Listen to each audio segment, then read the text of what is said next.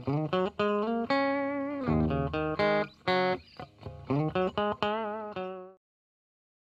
everybody, everybody, I'm back. Everybody, Gina Young is back and I'm back with yet another amazing recipe. I am so excited yet another day because today at the Young's house, Gina Young is going to share with you all how to make amazing beef and broccoli.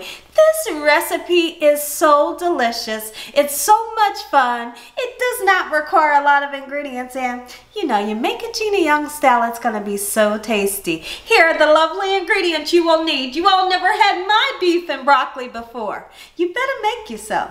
Okay everyone, here's the lovely ingredients you will need. You're to need some beef. And the beef that I have today, this is stewed beef here. And I have it just a little bit frozen. And the reason why I have it that way is because when it's partially frozen, just a little bit, it's going to help me to be able to slice it really easy because I want to slice this into thin pieces, thinner pieces than what it is.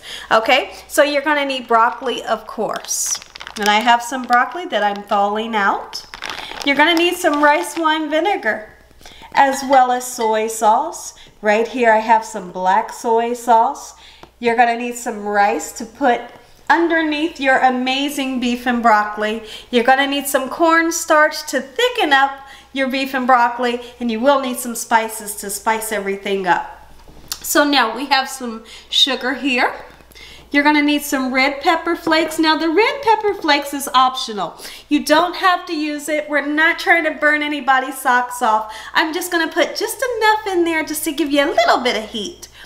Garlic and onion powder is definitely a must black pepper. We have some parsley here that I'm just going to put on top of my rice and of course salt. Make sure your hands are impeccably clean. Let's get started with this really quick and simple yet so tasty recipe. Hey everyone, so the first thing that I want to do, I want to go ahead and make my rice. Those of you that are familiar with me, you know that I absolutely love the boil in a bag rice. So I'm going to cook two bags and all you need to do is basically just boil some water, make sure your water is nice and salted, throw the bags in the boiling water, and 11 minutes, this rice is gonna be done. It's gonna be perfect. It's gonna be nice and fluffy every time. So now we're gonna make our way back over to the island and I wanna show you how to slice up your meat.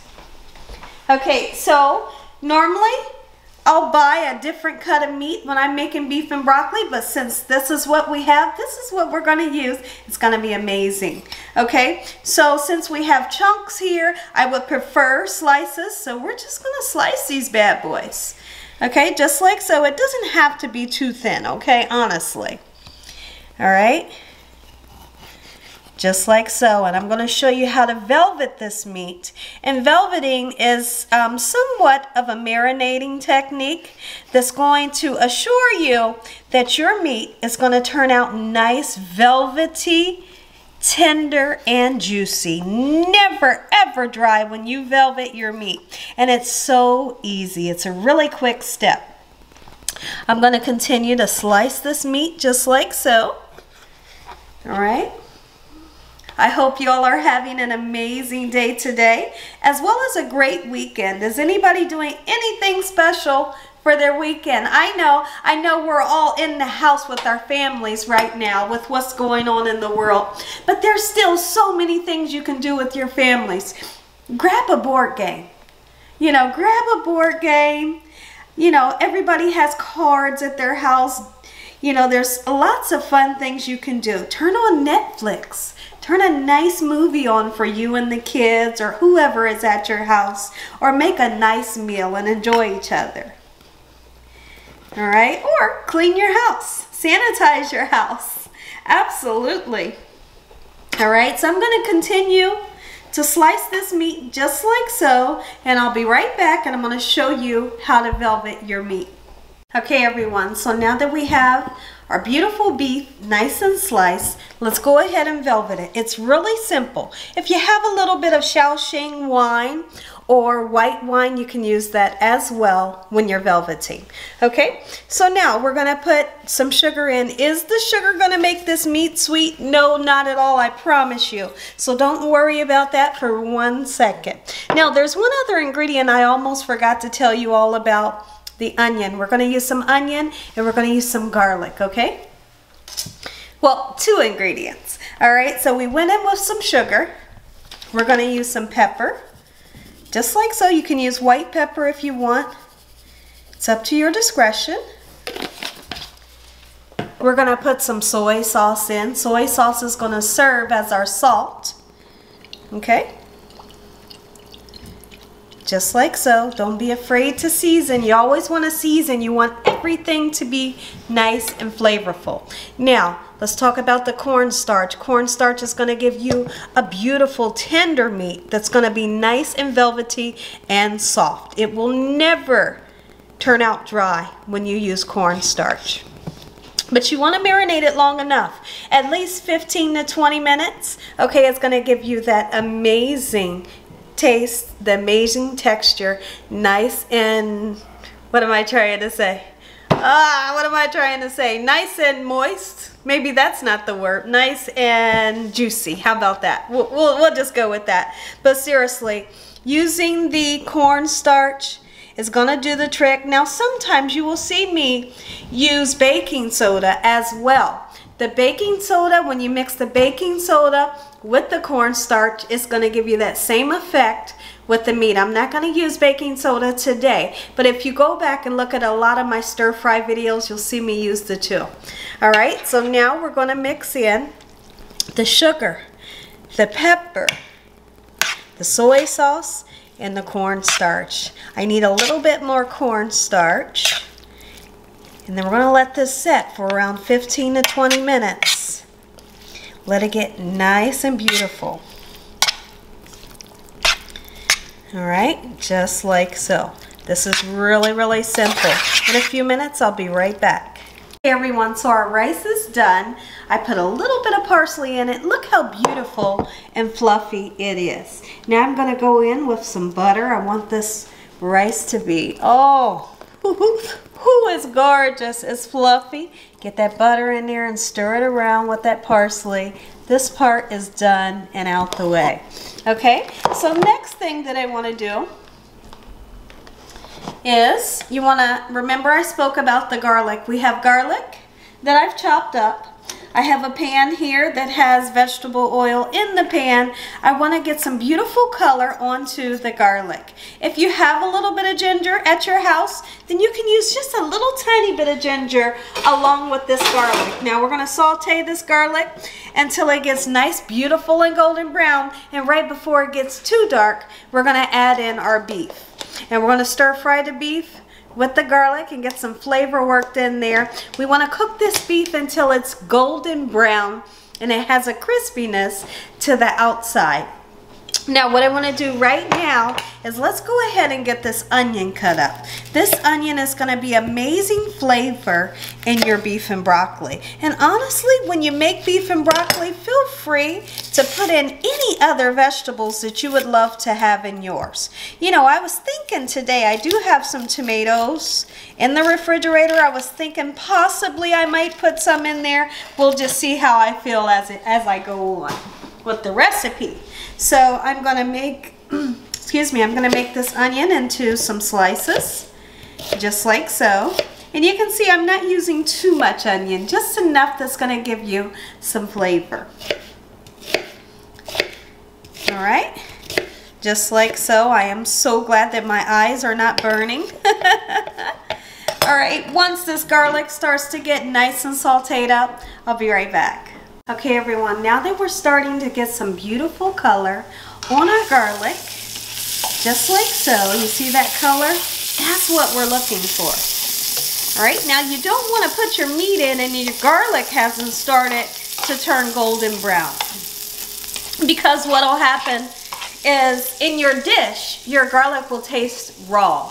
Give it some time to get golden brown before you put that beef in. Okay, so that's what we achieved right here in that raw flavor is, you know, taken away, if that makes any sense. Now we're gonna add our beef. Okay, make sure you have a big enough pan. You don't wanna overcrowd your pan with too much meat.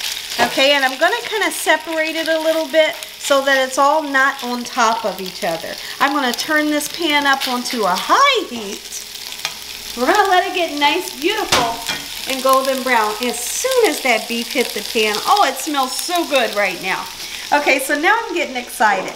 Let's go ahead and make our salsa. There's one ingredient I forgot to tell you about. We're gonna use some oyster sauce, okay? If you don't have oyster sauce, you can use fish sauce. If you're allergic to um, seafood, you don't have to use either one of them, okay? So now let's use some red pepper flakes, just a little bit, just enough for a little bit of spice, but you don't have to use it, it's optional, okay? So now that we have that, we're going to put two pinches of sugar in. Just like so. We're going to go in with our soy sauce. This is thin soy sauce right here. You can see just how thin it is. And then I will give you measurements in the description below of all of the ingredients that you will need. Okay? This is soy sauce. I'm going to use the rest of this one here because that bottle's almost done. Perfect. You can use brown sugar if you didn't want to use white sugar. It's really up to your discretion, okay? And you don't have to use the sugar at all. Okay, and we're going to go with some oyster sauce. Keep in mind that oyster sauce is supposed to look nice and thick as it is.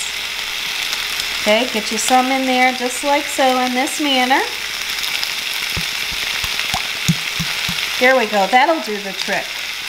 I want to wipe off the top of this.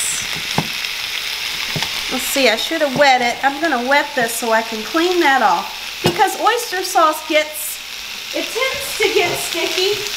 And you don't want, you know, that stickiness on your bottle when you go to open it up next time.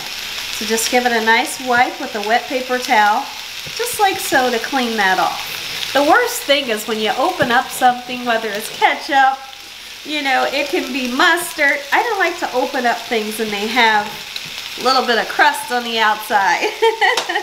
Let me know in the comment section below if you're like that as well. Okay, so we've put our soy sauce in. We're going to go in with rice wine vinegar, just like so, not too much. You only need a little bit. And now we're going to use our black soy sauce. Black soy sauce, if you've never heard of it before, it's a thick soy sauce. It's really black in color and it's really thick. Okay? Take a peek in at this. It is an amazing ingredient in Asian cooking. Alright, and a little bit goes a long way. Trust me.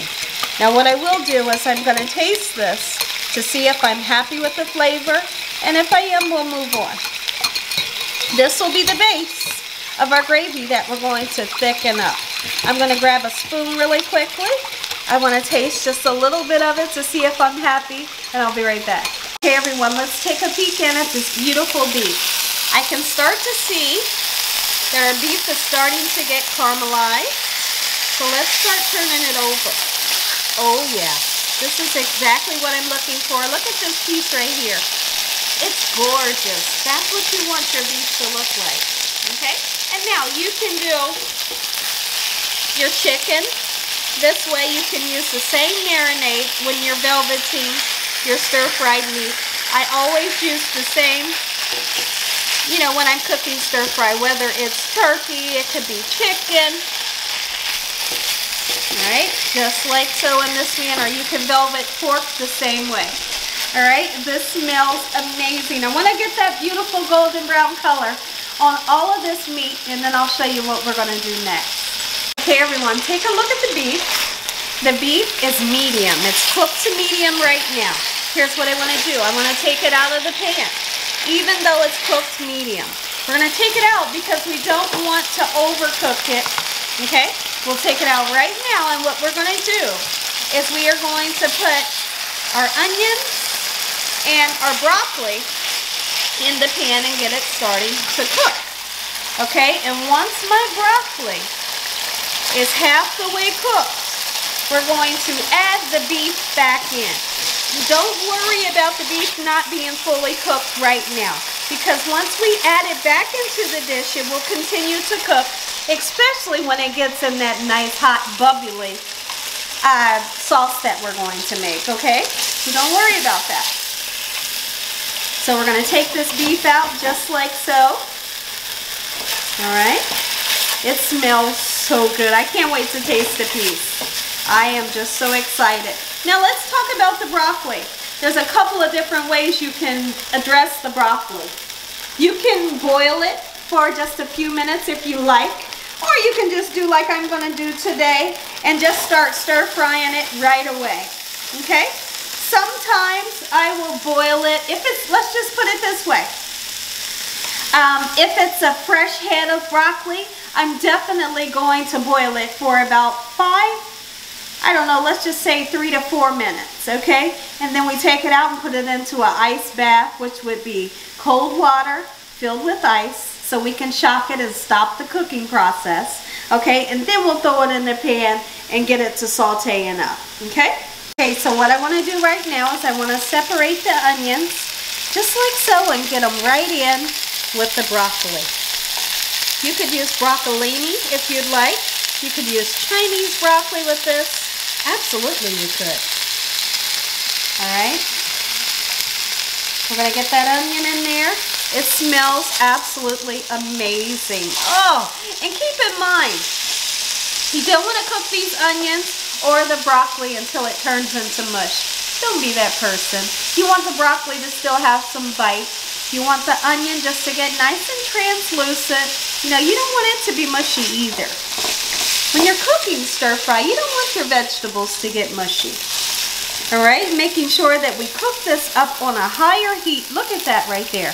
That's gorgeous color. That's what we're wanting to achieve with this broccoli today. Okay, and then this will go back in. I'm going to show you how to make an amazing gravy and lunch will be served at the Young's house. Make you. Okay, everyone, take a peek in at these lovely vegetables. They are perfect. Okay? Now some of the huge pieces, I did go in and slice them a little bit. All right, let's go ahead and put that beef back in. I tasted the beef. It is amazing. you better believe it was good. Oh! Okay, so now here's what we're going to do. We want to work really fast from here because we don't want our veggies to get mushy. All right, we got beef and broccoli. Oh yeah. Ooh, better make you some, daggone it. All right. I could have actually put a little bit more broccoli in there. All right, so here's what I want to do. We're going to take this liquid here and we want to add it with some water. You can add it with chicken broth you can add it with beef broth if you like. It's really up to your discretion. I'm stirring it because I do have sugar, you know, in here. I want to make sure I get all that goodness down into the water. All right, go ahead and get this in there just like so. This is gonna be your gravy. We're gonna thicken it up and we're gonna have beautiful beef and broccoli, baby. You hear me? Oh, you never had it before? Gina Young is showing you how to make it. It's so simple and so easy. We just want this to come up to a really quick boil. It'll happen very quickly because my pan is nice and hot. Okay, so as soon as I start to see a little bit of bubbles starting to happen, right here I have two tablespoons of cornstarch that we're just going to mix a little bit of this cold liquid in Okay, this is the same liquid we used. Normally you would use cold water, but this is cold liquid. It will do the same exact thing. And we want to stir this around until you can't feel any dried cornstarch. This is what you call a cornstarch slurry. It's going to thicken anything up. All right, so as soon as I get a nice boil onto our beef and broccoli, I'll be right back. Everyone, I see a little bit of boil. Can you see in the middle of the pan?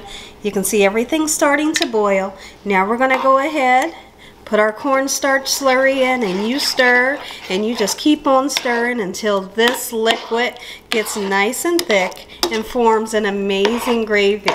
Okay, it'll happen very quickly. I'm just getting the excess cornstarch out of the pan or out of the ramekin. Be right back. Everyone, look at this beautiful beef and broccoli, Gina Young style. All right, now I want you to see how gorgeous this gravy is. Oh, and you've seen, it was so easy to make. And you can see how this broccoli still has some nice bite to it. It's not mush. Let me see, let me show you. Look at that, it's still intact, never mushy. It didn't lose its color. You always know when you cook broccoli too long, you'll lose the color. It'll turn into somewhat of an army green. You know, this is still nice and vibrant, still has some bite. The meat is juicy as ever. You hear me? And this is an amazing sauce that didn't require, you know, anything. All right, so this is done. Listen here. If you all enjoyed this here video, give me a thumbs up. And if you haven't subscribed, make sure you subscribe. Make sure you click on the notification bell so you can be notified every time Gina Young uploads one of these awesome recipes. Tell your family and friends and everybody you know, hey, tell the whole world about Gina Young and what I'm doing in this kitchen on a daily basis. Absolutely. I'm going to say an amazing prayer and you all are going to get that first bite. Everyone, take a look at this gorgeous plate. So we have, of course, our white rice. And we just put a little bit of butter. We've salted the water, parsley flakes just to make it nice and beautiful. And then we have our beef and broccoli. Oh, listen here. Let's go ahead and say our prayer so we can get that first bite. Heavenly Father, Lord Jesus, we thank you for today and for every day. Lord, we thank you for your love, time, your mercy, and your understanding. Please forgive us for our sins. Come into our hearts. We make you our Lord and Savior. Send your angels down to surround us day and night, and your Holy Spirit to help us make good decisions. Give us peace over our mind in the name of Jesus. Devil, you have no authority over this household in the name of Jesus. Devil, you are bound away from this house in Jesus' name. Heavenly Father, we thank you for the roof over our head the food, the love, the peace, and the joy that you bring us every day. We thank you for that, Lord. Amen. Amen. Thank you. All right, now let's talk about this kitchen bouquet. I used some. What did I use it for? Well, it doesn't have much flavor. But what it's used for is to change the color in any gravy. Okay, so if you want a little bit darker color in your gravy, use some of this. It'll turn your gravy this beautiful, gorgeous color. Because if you can remember, it wasn't this dark. I just put maybe like two drops in there and you just stir it up and it's an amazing color. Okay, let's go in. I can't, I can't wait. I can't wait. Oh, all right. I'm going in for some of this beautiful, gorgeous rice. Hold on, guys. I seriously have to get a thumbnail and I'll be right back. Everyone, I'm going in for this gorgeous rice. Oh yeah. it's perfectly fluffy. My goodness. Who listen here. Mm. I, listen, listen, listen, listen. When I came to make beef and broccoli, I didn't come in this kitchen to play any games today. Gina, when I get in this kitchen, there's no games being played. This right here is gonna knock your socks off. You hear me? Trust me when I tell you this. All right, so now that we have our rice, let's go in for some of this beef and broccoli with those perfect onions. Oh man, and this gravy that is just screaming my name. Oh, you better believe it is. Oh, gorgeous. You hear me? Look at this. Oh, I'm so excited. I couldn't be more excited. Mm. Lunch at the Young's house make you some. All right, come on. Come on in, guys. I know it's hot. I know, I know it's hot. But I can't wait any longer. mm, mm, mm. Let me get a piece of that broccoli. I want everything on this fork here. Mm. Taste this, guys. Let me know what you think about this recipe. It's gonna knock your ever-living socks off. Mmm. I'm going in. Mmm. Mm-hmm. Mm-mm. Mm. Mm. Mm. Mm. Mm. Mm. Mm-hmm. Mm. Mm-mm. Mm. Mm. Mm-mm. This right here is so delicious. You hear me? This beats any takeout recipe. And I'm not just saying it, guys. I am not just saying it. Just because I made it. This beats any takeout restaurant. You hear me? Oh, look at that. It's gorgeous. Mmm. Mm-hmm. Mm. The meat. Mm-mm-mm. Mm. It's like a symphony being played on my taste buds. The meat is like butter. You hear me? And look at this gorgeous piece of broccoli. Oh, it's so delicious. Mmm. Mm-mm-mm. Mmm. Mm-hmm. I have the perfect amount of heat. The gravy is the perfect gravy. Mmm. Mm. Girl, you are something else in that kitchen. You hear me? Mmm. Mmm. Mm-mm-mm. And as always, God bless each and every one of you. Thank you all for watching. Good night. Mm. Mm-hmm. Mm-mm-mm.